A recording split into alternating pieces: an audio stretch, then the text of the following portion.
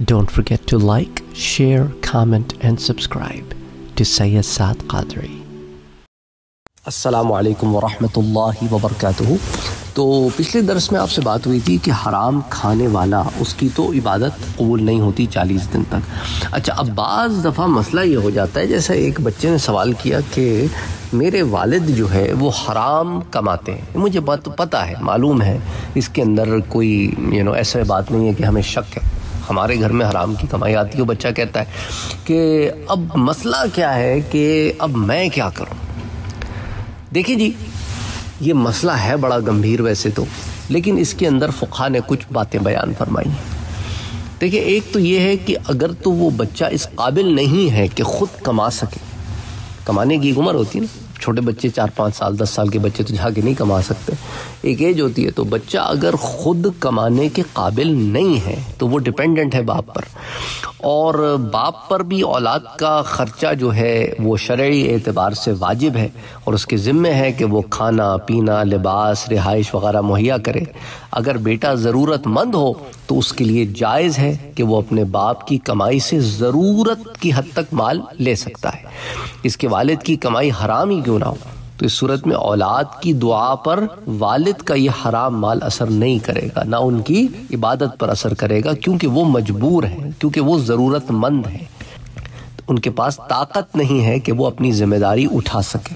तो इस दौरान में जब आपके ऊपर ये चीज़ ज़ाहिर हो गई है कि माल हराम है तो आप ज़िम्मेदारी से ज़्यादा इस्तेमाल ना करें वो माल। तो फ़ुका यही कहते हैं कि अपने वालिद की हराम कमाई को ज़्यादा मकदार में हासिल करने की कोशिश ना करें। अगर वो ताकत रखें तो उन्हें कोशिश करनी चाहिए कि वो हलाल कमाएँ और वालिद के हराम माल से बचें और अपनी वालदा को भी उस हराम माल से बचाएँ कि वो आपके माल में से इस्तेमाल करें। तो उन्हें ये कोशिश करनी चाहिए कि वो अपने बाप को हराम कमाई तर्क करने की नसीहत भी करें, लेकिन ऐसे अंदाज में कि बदतमीज़ी ना करें, गुस्ताखी ना करें जो आसन अंदाज से हो सकता है कि अल्लाह ताला बच्चों की वजह से बाप को हिदायत दे दे और वो हराम कमाई से बाज आ जाए तो और उसे तोबा जो है करने की तोफ़ी अता हो जाए।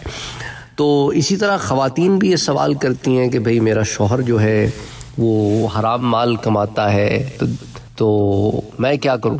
तो आपके शोहर की चूँकि मैं तो कहता हूँ कि चूँकि उनकी कमाई हराम होती है इसलिए फ़ुका तो यही कहते हैं कि उस औरत के लिए जो शोहर पर डिपेंडेंट है और उसके बच्चों के लिए जो आ, इस इस माल पे डिपेंडेंट है और कोई ज़रिया आमदनी नहीं है तो उस वक्त तक या तो कोशिश करते रहें कि कोई और ज़रिए आमदनी जो हलाल तरीके से हो सकती है वो मिल जाए। या अगर हराम हलाल मिक्स है तो आपको अंदाज़ा है कि भाई इतना तक हलाल है और इसके बाद ऊपर हराम है। तो वो जो हलाल है, उसके अंदर गुजारा करने की कोशिश करें कि हराम को छूना भी ना पड़े। अक्सर दफ़ा यही होता है ना कि ख़वातीन जो है वो इस तरह की चीज़ों का इजहार करती हैं कि जिसके लिए जो उसकी बेस सैलरी है, उसमें नहीं हो सकता। तो अपनी ख्वाहिशात को जो है थोड़ा सा रोकें ताकि आप हराम का इस्तेमाल ना करें। आप गुनाहगार ना हो, क्योंकि आप ज़रूरत से ज़्यादा की तरफ़ जा रही हैं ना। अब आपको हर पार्टी पे एक ब्रांड न्यू ड्रेस चाहिए, वो भी डिज़ाइनर और आपको पता है कि उसकी सैलरी में तो ये हो नहीं सकता तो वो मुझे हराम से ही दिलाएगा। तो आप ऐसी ख्वाहिशात का इजहार ना करें। बच्चों के लिए भी ऐसी ख्वाहिशात का इजहार ना करें कि हराम माल में से इस्तेमाल हो। तो ख़ुद ख्याल करें। अब हमारे पास मसला ये भी होता है ना कि लोग सवाल तो भेज देते हैं ख़ुद कुछ नहीं करना चाहते चाहते हैं किसी और पर बवाल भी पड़ा रहे और हम जो है इसको हंड्रेड परसेंट इन्जॉय करते रहें। ऐसा नहीं हो सकता। तो इसलिए आपको इस ज़मीन में गुनाह से बचने के लिए ये काम तो करना पड़ेगा कि अच्छा अब इसके अंदर ये मामला भी है कि अगर किसी के बाप की हराम माल से जो है वो आपको पता है आ, कमाई हुई है और अब वो विरासत का मसला आ गया है। तो ऐसी कमाई का इस्तेमाल जो है, वो वसा के लिए जायज़ नहीं है। बल्कि अगर ये पता हो कि ये असल में माल किसका है तो या तो उसे दे दिया जाए, या उसकी अगर औलाद मौजूद हो तो उस औलाद तक पहुँचा दिया जाए। वरना बिला नीयत सवाब फ़ुकरा पर सदका कर दिया जाए। अब इस ज़मीन में फ़ुका ये भी कहते हैं कि फ़ुकरा पर जो आपने सदका कर दिया बिला नीयत जो है, वो फ़ुकरा पर सदका कर दें और फिर साथ फ़ुका ये भी कहते हैं कि अगर तो वो माल खलत मल था, यानी कि उसके अंदर हलाल भी था और हराम भी था, मखलूत हो गया था तो अब उसके अंदर आप अगर माल हराम हलाल के साथ मखलूत हो जाए तो माल हराम जितना है ना उतना सदका करके या मालिक का इल्म होने की सूरत में उसको वापस करके फिर जो बच जाए, फिर वो वसा उसका इस्तेमाल उनके लिए जायज़ होगा क्योंकि अब वो हलाल में से तकसीम कर रहे हैं। तो इसकी तफसील रद्दुलमख्तार वगैरह में भी आती है, बाब अलफ़ासद तो बहरहाल इसके अंदर फ़ुक़ा ने ये तफसीलात दी हैं। तो हराम से बिल्कुल बचना चाहिए। देखिए रिस्क हलाल जो है, हलाल और पाकिज़ा चीज़ें जो हैं ये तकवे में दाखिल। तकवा गुनाहों से बचने का नाम है ना, परहेजगारी क्या है? गुनाहों से बचना। तो हराम से बचना भी क्या है? गुनाहों से बचना है। तो रिस्क हलाल खाने और नेक अमाल करने का हुक्म तमाम रसूलों को दिया गया। हर रसूल को उनके ज़माने में यही हुक्म था जो उन्होंने आगे पहुँचाया। तो हुजूर सल्लल्लाहु अलैहि वसल्लम ने भी उम्मत को यही तालीम दी। और हुजूर का फरमान है कि अल्लाह ताला पाक है और पाक चीज़ के सिवा और किसी चीज़ को कबूल नहीं फरमाता। और अल्लाह ताला ने मुसलमानों को वही हुक्म दिया है जो रसूलों को हुक्म दिया था। चुनाचे रसूलों को अल्लाह ने फरमाया, जैसे सूर्य मोमिन में आता है कि ए रसूलों, पाकिज़ा चीज़ें खाओ और अच्छा काम करो, बेशक मैं तुम्हारे कामों को जानता हूँ। और अहले ईमान से फरमाया सूर्य बकरा में कि ए ईमान वालों, हमारी दी हुई सुथरी चीज़ें खाओ। तो बहरहाल, मुस्लिम शरीफ में भी एक हदीस इसी ज़मीन में आती है, हदीस 2346 तो अब ये जो तयबात हैं, यानी कि पाकिज़ा चीज़ें हैं, इससे मुराद ही हलाल चीज़ें हैं। और सालहन जो अल्फाज आते हैं कुरान में तो उससे मुराद भी अच्छे काम हैं। यही शरीयत में इसकी डेफिनेशन बयान की गई है। अच्छा इसी तरह बुखारी शरीफ की एक रिवायत है, हदीस 2059 कि उसमें आता है कि अफसोस के लोग हलाल और हराम कमाई का ख्याल करने में बहुत बेपरवाह जो हो चुके हैं, उससे मुतल जो हदीस में अल्फाज आते हैं ना, कि लोगों पर एक ऐसा ज़माना भी आएगा कि जब आदमी ये परवाह नहीं करेगा कि जो कुछ हासिल कर रहा है वो हलाल से है या हराम से। तो ये बुखारी शरीफ की रिवायत में अल्फाज आते हैं। इसी तरह हुजूर सल्लल्लाहु अलैहि वसल्लम का एक और फरमान है, तिरमिजी शरीफ की रिवायत है हदीस 2528 कि जो शख्स पाकिज़ा यानी हलाल चीज़ खाए और सुन्नत के मुताबिक अमल करे और लोग उसके शर से महफूज रहें तो वो जन्नत में दाखिल होगा। यानी हलाल की इतनी वैल्यू है।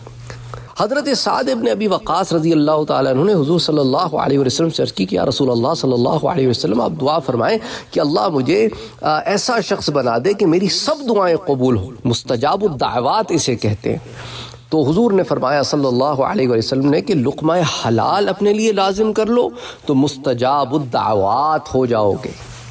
ये मौजमुल औसत की रिवायत है, हदीस सिक्स फोर नाइन फाइव और तरगीब व तरहीब में भी आती है। जल्द दो सफ़ा थ्री फोर्टी फाइव पर हदीस नंबर आठ। और कुरान करीम में भी इस पर बड़ी वजाहत है। और हराम के मुतक़ अदीस मुबारक जो आती है ना तिरमिज़ी शरीफ की एक रिवायत आती है कि हजूर अलैहि ने फरमाया कि वो गोश्त जन्नत में ना जाएगा, जिसकी परवरिश हराम माल से हुई हो और ऐसा हराम गोश्त दो का ज़्यादा मुस्तक है। यानी तिरमिज़ी शरीफ की रिवायत है, मिशकात शरीफ में भी आती है और फरमाया कि हराम खोर की दुआ कबूल नहीं होती, ये मुस्लिम शरीफ की रिवायत है। फरमाया हराम माल का कोई सदका कबूल नहीं किया जाएगा, ये मुस्लिम शरीफ की रिवायत हदीस टू ट्वेंटी फोर इसी तरह फरमाया कि रिश्वत लेने वाला, देने वाला जहन्नमी है। ये मजमुल औसत की रिवायत है। फिर मजीद बरा सुन अभी दाऊद में भी एक रिवायत आती है कि रिश्वत देने वाले और लेने वाले पर अल्लाह के रसूल ने लानत भेजी है। हदीस three thousand five hundred eighty Abi Dawood. इसी तरह हराम खाने वाले की इबादत व नमाज़ कबूल नहीं होती। ये हाफुसादमतकीन की जल्द नंबर जो है सफ़ा नंबर सिक्स अच्छा इसी तरह सफ़ा नंबर फोर फिफ्टी टू जल्द नंबर सिक्स। अच्छा इसी तरह जो है, तिजारत में झूठ बोलने वाले और ऐब छुपाने वाले के कारोबार से बरकत उठा दी जाती है, मिटा दी जाती है। ये बुखारी शरीफ की रिवायत हदीस 2082 और दीगर बहुत सारी हदीस ज़मीन में आती हैं। तो इसीलिए एहतियात बहुत लाजिम है और वो लोग जिन्हें इस बात की खबर हो जाए तो उन्हें कोशिश करनी चाहिए कि जल्द अज जल्द अपना हलाल पर इंतज़ाम कर लें। अगर वो किसी ऐसे माहौल में हैं जहाँ हराम है तो आपको नफ्स को मार कर अपनी ज़रूरियात को बिल्कुल बेसिक्स पर ला कर उस वक्त को गुजारना है, यहाँ तक कि आप खुद अपने पाँव पर खड़े हो सकें। और पाँव पे खड़े होने का मतलब नहीं दो चार लाख रुपए। पाँव पर खड़े होने का मतलब है कि अपना बेसिक गुजर अवकात बंदा करना शुरू कर दे तो इस माल को छोड़ दे और फिर उस माल को इख्तियार करे जो हलाल हो। तो इसके अंदर ज़रा अपने स्टैंडर्ड्स बंदा एक्सपेक्टेशंस और स्टैंडर्ड्स के को रखे प्रैक्टिकली क्योंकि हमारे यहाँ ये भी होता है ना कि लोगों को फ़िक्र भी है कि हराम से बचें और उनको चाहिए भी लेटेस्ट आईफोन, लेटेस्ट सैमसंग का फ़ोन, बेहतरीन गाड़ी, बर्गर पिज़्ज़ा से कम खाना नहीं है और डिपेंडेंट हैं हराम माल पर, अपना भी नहीं कमाते। तो you have to figure out कि आपके अपने जो मामला हैं ना, उनको आपको सही तरीके से लेके चलना है। और इसके लिए नफ्स को भाई मारना पड़ेगा। कॉम्प्रोमाइज़ करना पड़ेगा। और हो सकता है आपके इस रवैये से वो जो, हो सकता है आपकी वजह से वो हराम ले रहे हों कि इसको मैं अच्छा पहनाऊँ अच्छा खिलाऊँ। तो हो सकता है उनको खुद ही तंबी हो जाए। क्योंकि जिसके लिए कमा रहा हूँ, वो तो कहता है मुझे चाहिए ही नहीं है। मैं तो बस हलाल खाऊँगा। मुझे हराम चाहिए नहीं। इसी तरह बीवी जो है ना, वो शोहर पर एक बहुत बड़ा इन्फ्लुएंस होती है। ख़वातीन जानती हैं इस चीज़ को। अगर वो अपने इन्फ्लुएंस को सही तौर पर इस्तेमाल करें तो इसी तरह औलाद भी एक बहुत बड़ा इन्फ्लुएंस होती है। अगर औलाद भी इसको सही तौर पर यूज़ करे, इसी तरह वो माँ बाप जिनको ये है कि उनकी औलाद हराम माल घर पे ला रही है और वो माँ बाप उस औलाद पर डिपेंडेंट है तो उनके लिए भी फिर इसी तरह के मामला उन्हें करने चाहिए ताकि औलाद हराम से बच सके। एनी anyway, उम्मीद करता हूँ कि इस तफसील से बहुत सारे सवाल जो हैं उनके जवाब आपको मिल गए होंगे। तो हराम से बचने की फुल कोशिश करनी हमने इन ताला और हलाल तरीक़े को इख्तियार करना। अल्लाम वरहमल वर्क